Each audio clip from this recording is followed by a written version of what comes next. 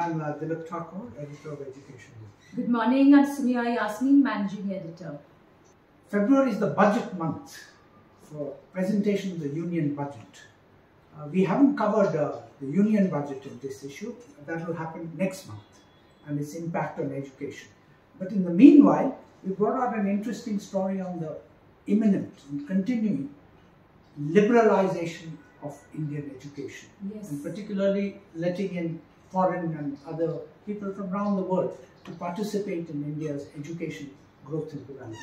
So, what do you think of this uh, particular issue? Are you happy with it? Yes, I think it's a, a information packed, and I think in in some ways it's groundbreaking. Especially our cover story, uh, Dilip, where we talk about does in is Indian education you know having a 1991 inflection moment in terms of liberalization and deregulation uh, we'll tell our viewers a little later about our cover story. Also, our special report is very interesting. It's on uh, India's great SEL, social and emotional learning skills deficit.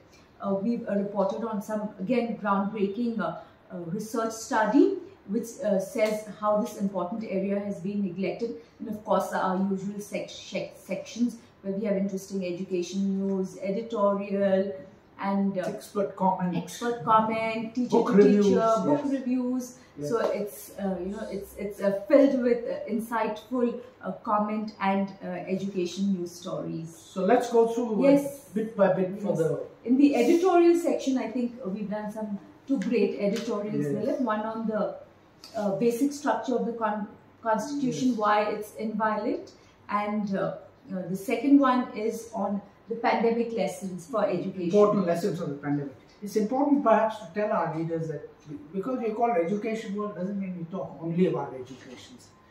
We are a very Catholic magazine, broad-based magazine, and our editorial this time is on why the basic structure of the constitution must remain inviolate.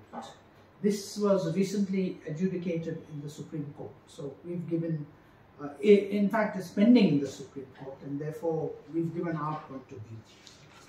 Uh, let's move on to uh, education news. news yes. yes, in education news again some very uh, uh, topical news items we've covered. I think the first one is from Delhi where we talk about uh, it's uh, related to our cover story. Yes, it's about, about, the UGC yes. uh, allowing foreign university campuses to set up in India and how you know the usual uh, criticism and noises are This matter has been pending, in fact, yes. for uh, decades, and uh, we've reported now. Finally, it's happened. So it's a very interesting story. And in uh, uh from West Bengal, uh, we have reported on the ASER report, ASER 22, 22 report. the annual status of Yes, brought out by the Pratham Education Foundation how learning outcomes uh, in West Bengal in fact have become from bad to worse, severely hit by the pandemic. In fact, West Bengal had the longest, longest education lockdown, lockdown uh, during the pandemic of all states in India. Yes. And how this has severely impacted and how... Yes, and our essence of our story is that the Bhadra Lok, that's mm. the influential, cultured, refined middle class in Bengal are getting pretty fed up with uh, mismanagement, 34 years yes. of uh, communist rule uh, ruined the education system. And now uh, not not much more of the done, same. More of the same. Yes. Indeed. And karnataka again we talk about the ASER report. Uh, karnataka used to be an educationally strong state yes. but you know uh, going downhill. And in fact uh, the uh, learning slide the ASER report says that has been more than 10 percentage Quite dramatic, yes. Karnataka. Quite and uh, dramatic. This so is like, uh, uh, we find it a bit ironic. Our, our correspondent finds it ironic because Karnataka, Bangalore in particular, is a hub of the high tech, high intelligence IT Yes. And in Tamil Nadu, we've got a story of a conflict between center and state, an old story. But according to our, our correspondent writing from uh, Chennai, this uh, it has its roots in the old uh, antagonism about imposing uh, Hindi yeah. on uh, so the news the there in Tamil Nadu is that the state government, the DMK-led state government, is formulating its own state education yes. policy. It doesn't want to implement NEP 2020, so it's coming up with its own SEP 2023. Yes, and that's a potential point Yes. of conflict. Yes. Then, of course, we have our education news Notes and, and uh, notes, and, for- which gives you a roundup from around the country what's happening. But these are soft stories. Okay. Uh, And expert comment is uh, very uh, interesting this time. Uh, it's titled a, Fro- a Foreign Branded Schools Cost Benefits. It's uh, written by Roshan Gandhi, uh, Oxford educated uh, Yeah. you know, technology mentor. London-based consultant. Yes. Who's uh, talking about, you know, uh, this is a good thing. He says The- foreign no, the imminent, the whole story is built on the imminent entry of Harrow School, where Pandit Nehru, Winston Churchill, and several British prime ministers they to set up in the year 15 something, 1580. An ancient school establishing a campus right here in Bangalore, Yes. uh, near the airport. And uh, it's going to charge fees of 16 lakhs per year. So now Roshan's written a column saying what are the cost benefits of uh, allowing this Yes. ancient, of course, liberalization is good. Nobody, I mean, least of all, education world is going to say this is not a good development, but it has its upside and its downside, which are discussed. Of course, institution profile, we have again, you know, uh, Newly emergent. newly emergent school, Tatva School in Hyderabad, and a foreign university profile, and uh, young achievers, uh, two bright sparks. One is a chess champion, and the um, mm, Other one, the swimming mermaid. yes, the swimming mermaid. Both are set to take uh, hopefully Indian uh, sports uh, global. To a new level, Yes. yes. And our cover story, uh, Dilip, Which is the main, uh, yes, which is the main main item on the agenda this time. Yes, it's a, uh, you, it's a very, very well laid out story. For compliments to Summiya for that. And uh, So the question here we are asking is, is Indian education having a 1991 liberalization inflection point? yes, is it the liberalization moment for Indian education? Which in 1991 the Indian economy was liberalized and our rate of growth doubled, Yeah. annual rate of GDP doubled, 400 million people lifted out of poverty. But Indian education remained tightly shut down by Neta Babu license permit quota Raj. Hundreds of permissions. You aren't allowed to do this, you're not allowed to do that. The Supreme Court, had, of course, in some important judgments, liberalized the, the, environment for Indian educationists, particularly private educationists, foreign educationists.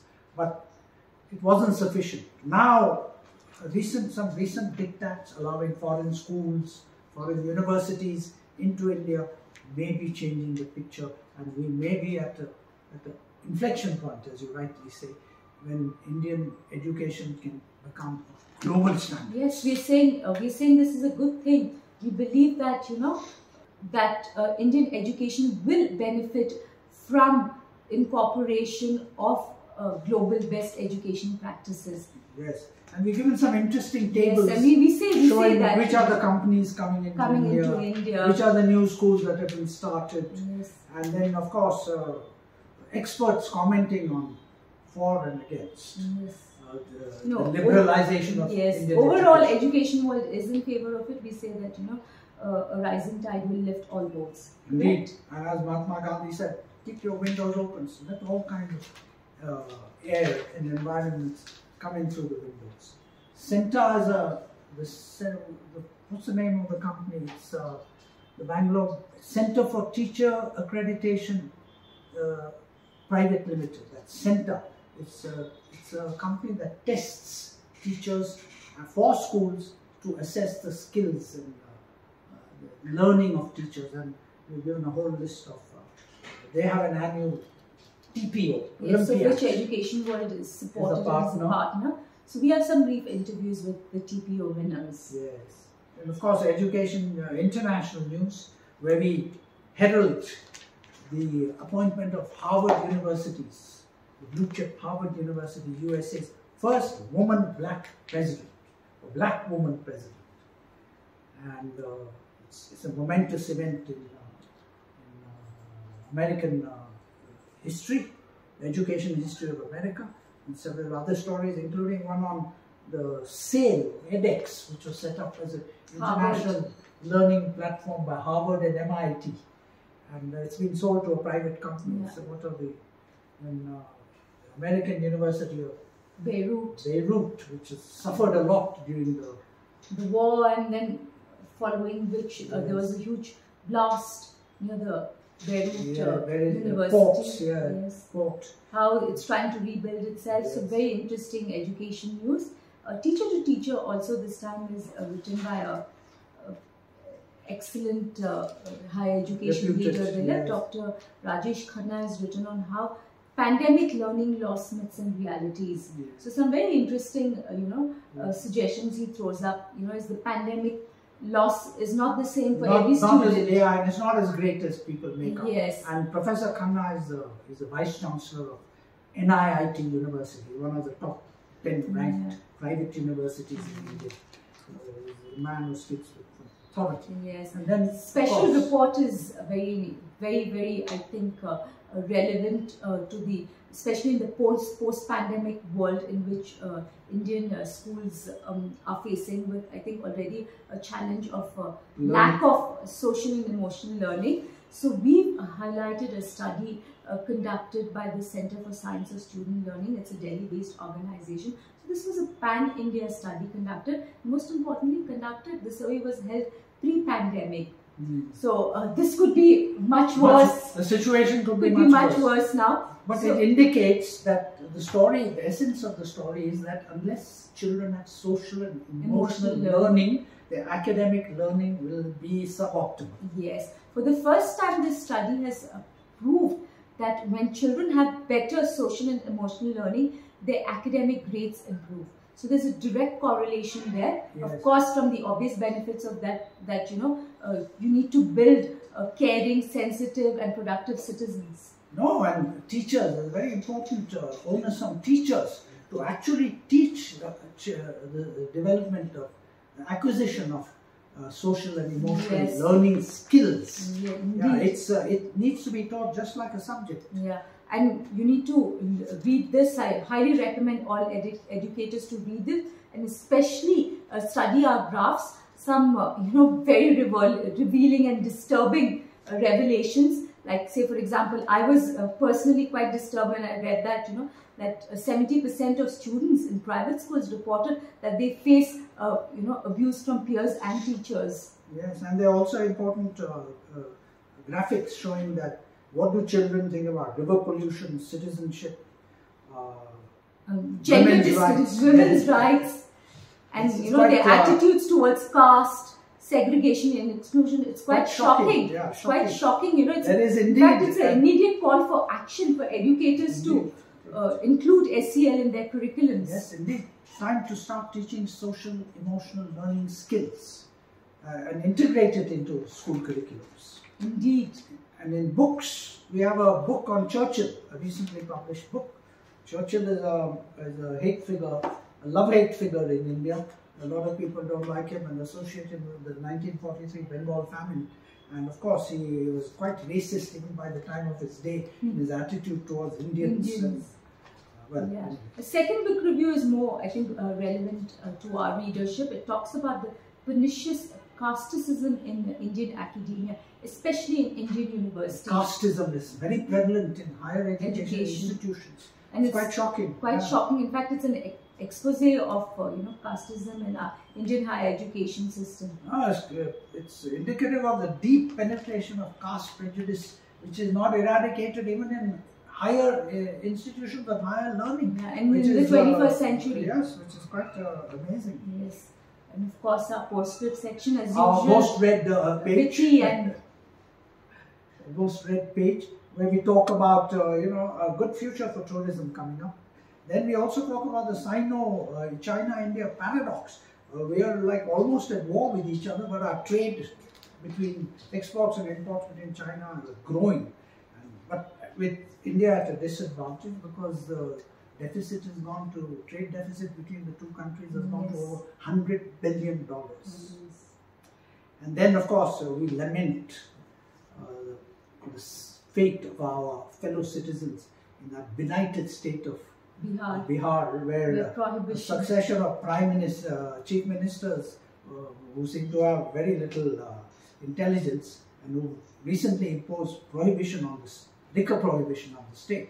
As a result, as a result of which so many people are Lost dying, their lives. dying, and so much crime, corruption in a state which is already uh,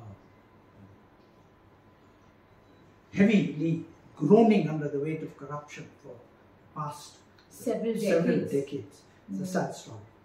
Well, So, that's, that's it. with the Feb issue of education world, it's if you if you I think You won't read regret it. Yes, and I think if you re, uh, read it from A to Z, you'll become one of the most knowledgeable people about Indian education. Yes, you don't have to read the previous issues. It's good enough.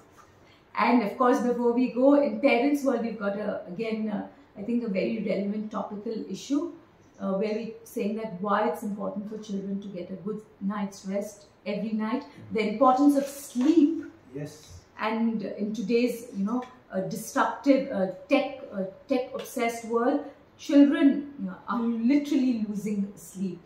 And Because they're so busy with their mobile phones, Yes, uh, mobile phones, Or television. activities, television, social media. uh, sleep sleep is very important it's deeply connected with uh, you know uh, falling school grades uh, with health physical health and uh, also emotional stability yes, so we we are advising parents pay a lot of attention to ensure that your children get good night's rest every, every night. night Well, Thank that's you. all. Thank you very thank much. you